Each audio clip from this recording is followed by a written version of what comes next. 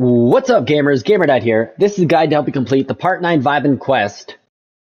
Interact with the scientist audio log. So to complete this challenge, you're already at Synapse Station. You've just interacted with the terminal, and you're in the main building there. You just need to head south here to this building right here. It's the very first building south of you.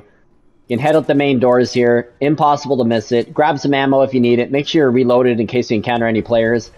Once you enter here, you'll see a desk and then you'll see the audio log. Just interact with it and the challenge is complete. Hope the video is helpful. Drop a like, leave me a comment, and if you haven't already subscribed, please do so. Have a great day. Until the next video, this is GamerDad out.